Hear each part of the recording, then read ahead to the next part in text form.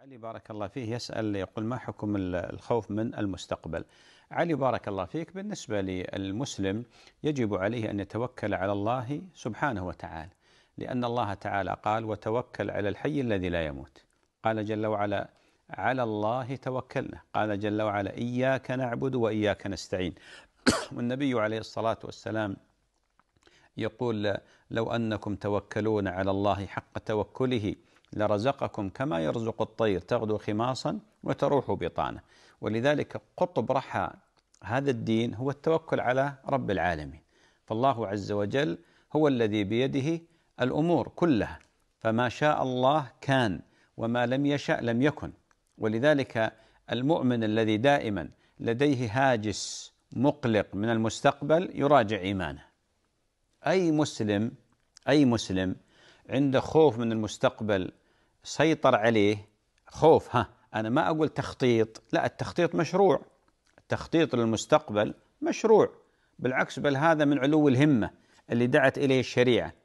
لكن أنه يقول والله أنا أخاف من المستقبل بعد سنة سنتين ما أدري يصير علي. هذا يراجع إيمانه يراجع قلبه. هذا على خطر. ذلك أن الأمور كلها بيد الله عز وجل. النبي صلى الله عليه وآله وسلم حينما أردف ابن عباس خلفه على الدابة. قال له احفظ الله يحفظك. يقول يا غلام احفظ الله يحفظك. احفظ الله تجده تجاهك. إذا سألت فاسأل الله وإذا استعنت فاستعن بالله. واعلم أن ما أصابك لم يكن ليخطئك وما أخطأك لم يكن ليصيبك وأن الأمة لو اجتمعت على أن ينفعوك بشيء لم ينفعوك إلا بشيء قد كتبه الله لك. وإن اجتمعوا على أن يضروك بشيء لم يضروك إلا بشيء قد كتبه الله عليك. رفعت الأقلام وجفت الصحف.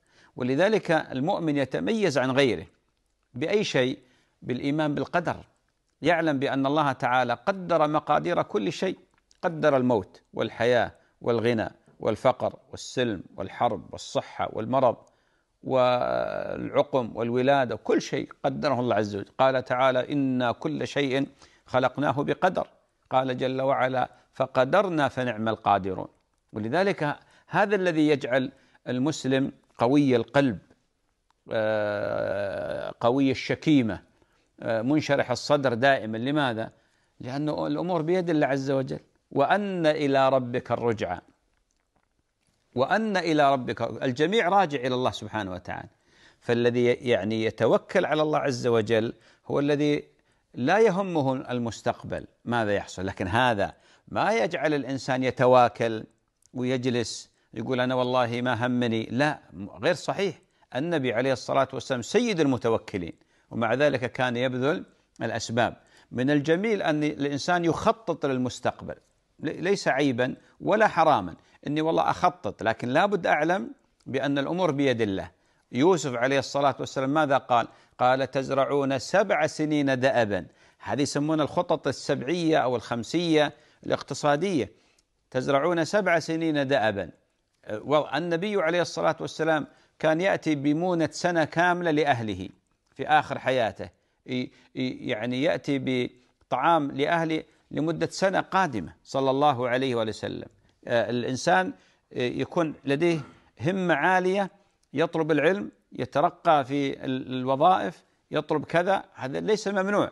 لكن أن يكون يسيطر عليه والله ما أدري وش يصير بعد سنة سنتين لا يراجع إيمانه.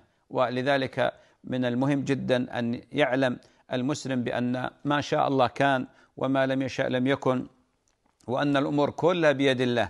وأن أحيانا قد تكون هذه الأسباب لا تؤثر. يعني في أسباب طبيعية قد تتخلف ما ما ما ما, تؤثر. وقد يكون هناك آه، أمر آه، خلاف الناموس العام. يجعله الله عز وجل سببا. يجعله الله عز وجل سببا. ولذلك من يتأمل نصوص القرآن يتأمل حياة النبي عليه الصلاة والسلام والله إنه يعيش من أسعد الناس ومن أكثر الناس انشراحا في الصدر وطمأنينة في القلب وراحة في البال. لماذا؟ لأن هذه أصلا الحياة هي فترة قصيرة يعيشها الإنسان أمام حياة أبدية سرمدية. ولذلك قطب رحة الإيمان قطب رحة هذا الدين هو التوكل على الله رب العالمين. التوكل على الله. ولما فقد الناس هذا الشيء تشوف الآن يعني يصاب بعض الناس بأزمات نفسية بعقد نفسية يعيشون حياة آه، مضطربة. لماذا؟ لأنهم ما توكلوا على الله حق توكله. ولاحظ قول النبي عليه الصلاة والسلام كما عند الترمذي لو توكلون على الله حق توكله. بعض الناس يقول لك أنا متوكل على الله. قد يكون متوكل لكن ليس حق التوكل. بمعنى يضطرب في مثل هذه الأمور.